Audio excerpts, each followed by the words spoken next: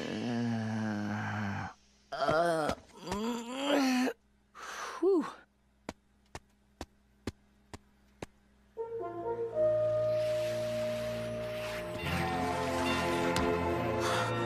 My God, it's the future.